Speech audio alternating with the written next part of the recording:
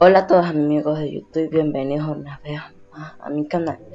Hoy día estaremos haciendo una figura 3D en Paintball 6 como, ya usé este programa anteriormente, quise hacer, usarlo una vez más. Bien, para hacer, para hacer esta figura vamos a abrir una capa de y vamos a seleccionar la herramienta curva. Bien, como, como ya les había dicho en el video anterior, la, herramienta Pressure sirve para hacerle la presión como si estuviera en tableta digital, así que esa es la que voy a la que voy a usar para hacer el fondo de mi figura 3D. Bien, bien, una vez finalizado el proceso para hacer el fondo una o una parte del fondo, empecemos con la figura. Con la herramienta Line voy a hacer la primera estructura de mi figura debe estar un poco virada ya que es una figura 3D, no es 2D. Yo voy a hacer una especie de casa, así que por eso hago esta, hago esta estructura. Primero vamos a hacer como si fuéramos a hacer un bloque rectangular o algo así. Ustedes la pueden dejar así si quieren, pero yo voy a jugar un poco con esta figurita presionando control y así y así tocando dos veces y arrastrando para seleccionarlo. Vamos a hacer esos cuadritos de hechos puntitos y ponemos transformar. Jugamos un poco y lo hacemos así. Luego vamos a hacer el tejado que primero debe ser como una especie de trapecio. Luego ese trapecio se le hace un triángulo que una el trapecio con la con una de las esquinas de la figura, ¿entienden? La ventana es lo más fácil de hacer. Primero hay que hacer un cuadrado y ese cuadrado se le hace cualquier forma que nosotros queramos. Puede ser como reja, como o la particular, que son cuadraditos. Y eso es fácil ya que es como una figura 2D en una figura 3D, que sería la casa y la figura 2D sería la ventana.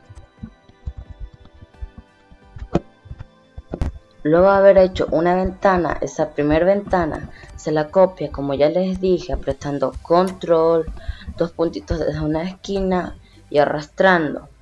Así se la copia y se la pega en, una, la otra parte de la casa. Así, ¿entienden? Pero hay que jugar un poquito con esta ventana para que quepa la puerta también, ¿ya?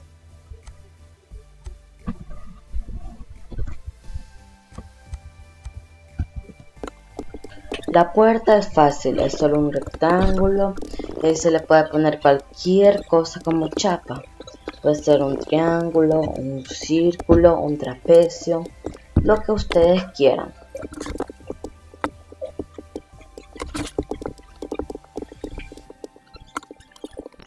Para hacer el pintado como más realista, que es ese pintado 3D, lo que yo voy a hacer es seleccionar la zona que voy a pintar, que en este caso sería la colina o el fondo. Luego seleccionar un color, el cubo, y ese sería el color secundario o terciario que va a ir ahí. Luego con el aerógrafo cogeré otro color. Puede ser un color más oscuro o un color más claro que ese ahí lo pintaré todo así se verán unas cositas que eso daría la sensación como de césped. Usaré el, desenfoque para desenfocarlo y que se haga una la imagen y no se vea como muy forzada. Así iré probando colores hasta que salga el color que quiero. Eso mismo yo voy a hacer para los colores que estarán en la casa. Bien pero en cambio las paredes van a ser café y el techo va a ser amarillo. La puerta va a ser un poco más oscuro el café. Las ventanas serán un celeste un tanto rarito. Ya lo verán.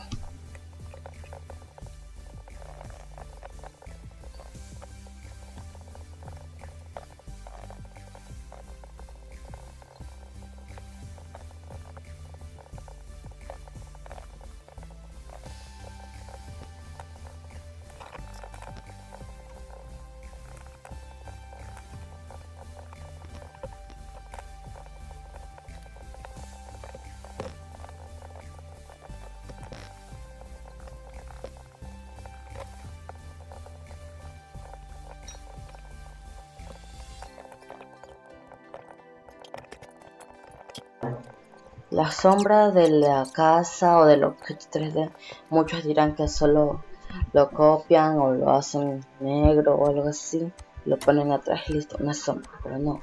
Aquí lo que hay que hacer es, bueno, algo así como copiarlo, pero hay que hacer una estructura según cómo va a ser nuestra sombra. Tiene que ser como si fuera nuestra casa, pero no nada más, ningún detalle, solo la silueta. Aquí como la casa ocupa casi todo el espacio, tuve que arreglármelas para poner la sombra a un lado.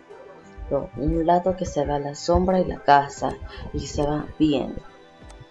Bien, para hacer la sombra hay que elegir el color del césped o del piso y se lo va a hacer un poco más negro. Y en la rueda de color se lo va a virar para la derecha si es que es sombra, para la izquierda si es que es Mm, ¿cómo se dice? Brillo, ¿entienden? Bien, eso ha sido todo video de hoy. Denle like y suscríbanse, ¿ya? Gracias, adiós.